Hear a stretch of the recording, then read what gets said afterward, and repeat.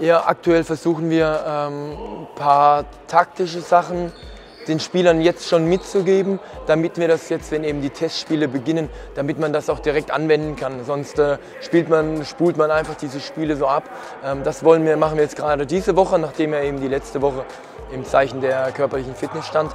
Das haben wir jetzt gemacht. Aber wir versuchen natürlich auch viel individuell zu arbeiten, also durch irgendwie ein Wurftraining, ähm, weil man eben, es fehlen eben noch wichtige Spieler, sei das Abwehrchef Lemke oder Julius Kühn äh, als Rückraumspieler. Das heißt, da kann man jetzt auch noch nicht allzu viel machen. Ja, ähm, wir haben uns leider äh, selber zuzuschreiben, dass wir so wenig Spiele haben. Also wir sind leider aus dem Pokal, äh, sowohl DHB als auch ERF-Pokal rausgeflogen. Ja, deshalb ist die Rückrunde etwas entzerrt bei uns. Ähm, das gibt uns aber die Möglichkeit, äh, in jedem Spiel Vollgas zu geben.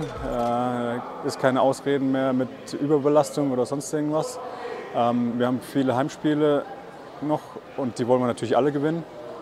Und dann hoffen wir oder wollen wir auch eventuell mal eine Überraschung auswärts schaffen. Aber dadurch, dass wir wirklich jetzt ähm, nicht mehr so viele Spiele haben, bereiten wir für jede einzelne äh, sehr gut vor und wollen so erfolgreich wie möglich sein.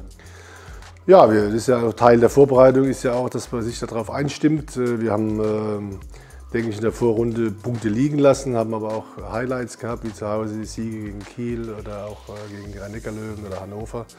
Äh, das zeigt natürlich auch wiederum, dass wir in der Rückrunde dort spielen müssen. Also wir müssen einen guten Start machen, äh, zu Hause gegen Leipzig, auch ein direkter Konkurrent um die Plätze.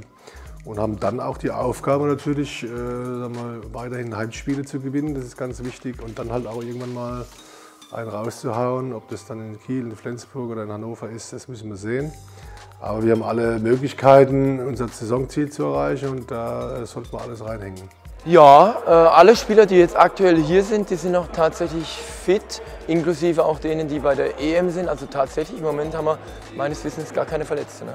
Naja, äh, jeder Trainer hätte natürlich gerne die komplette Mannschaft äh, in der Vorbereitung. Das ist ja bei uns ja so, dass ganz wichtige Spieler jetzt die ganze Zeit fehlen, ob das Maric ist, Simic war oder jetzt die drei deutschen Nationalspieler. Äh, das hindert uns natürlich an taktischen Trainings, aber die Spieler, die da sind, müssen jetzt gucken, dass wir in der Kleingruppe was machen dass wir schauen, dass die Spieler, die hier sind, jetzt auch äh, sich gut vorbereiten. Und ähm, ich habe immer gesagt, wenn wir mal eine Spitzenmannschaft sein wollen, dann müssen wir eigentlich im Januar fast keinen Spieler mehr haben. Äh, das war jetzt nicht ganz der Fall, aber die wichtigsten fehlen halt auch oder viele wichtigen. Von dem her ist immer ein Zwiespalt zwischen freuen uns natürlich, dass alle bei der Nationalmannschaft sind und zweitens ist für uns halt schlecht, dass die Spieler nicht komplett da sind. Gut, wir haben jetzt, äh, ich vor zehn Tagen angefangen.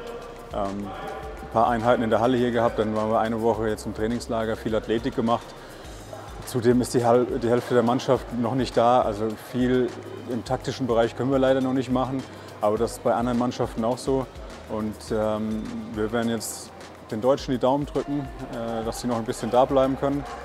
Und wenn die dann zurückkommen, vielleicht ein, zwei Tage Pause hatten, haben wir noch genug Zeit, um uns dann auf, den, auf Leipzig gut vorzubereiten und dann geht's rund in der Rückrunde.